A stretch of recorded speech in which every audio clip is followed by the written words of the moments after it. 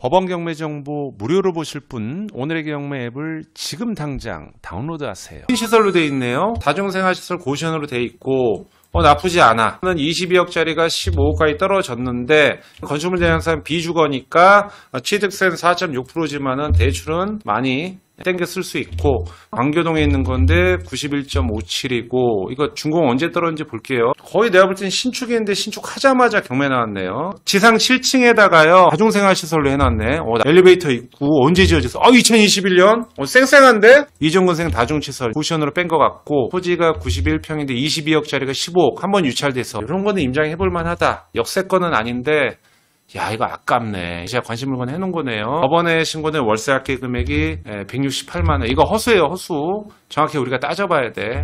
한번 해볼만 할 것 같아요. 임장을. 첫 번째 장점. 비주거용이기 때문에 대출을 받을 수 있을 만큼 받을 수 있다. 두 번째 장점. 주택수에 포함되지 않는다. 세 번째의 장점. 신축이기 때문에 낙찰받고 10년 동안은 리모델링 할 필요 없다 네 번째 장점 엘리베이터가 있다. 다섯 번째 장점 역세권은 아니지만 대로변에 있기 때문에 가시성이 뛰어나다. 그래서 이거는 임장을 가야 된다. 어, 토지 감정만 해도 시세와 견주어 볼 때 시세라고 할 수는 없겠지만은 11억 5,600이고 건물이 10억이야. 그러면은 11억의 토지고 건물을 11억 주고 졌다고 쳤을 때 15억이면은 건물은 예를 들어서 최저가 기준으로 볼 때는 건물을 그냥 거의 공짜로 가져간다는 마인드. 이런 건축행위를 할 때는 이걸 알고 계셔야 돼. 감정평가사가요. 여기 보시면 건물을 준공 이후에 건물 감정을 11억을 잡았거든요. 여기에는 건축 허가, 설계비, 감리비, 인건비, 속세금비, 싸움, 싸우고 뭐 그런 비용도 추가적으로 들어가야 되는데 이거는 감정가에 산정을 안 하거든. 지금 건물 감정만 11억이에요. 7층짜리 질라면은 그 정도 이상은 들어가거든. 이종인데 북도로에 껴서 그대로 올라갔지.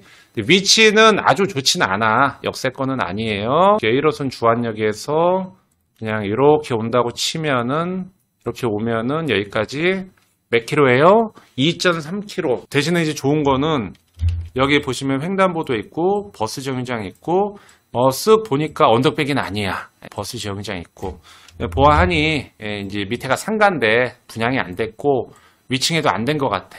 그러다 보니까 이제 대출에 올라갔고 이쪽도 분양을 때리려고 했는데 쉽지 않았던 것 같아요. 제 생각에는 이게 써 있는 거 보니까 예, 그 이제 버티질 못한 것 같은데 아, 이거 수요만 있으면 나쁘지 않은데, 신축이라.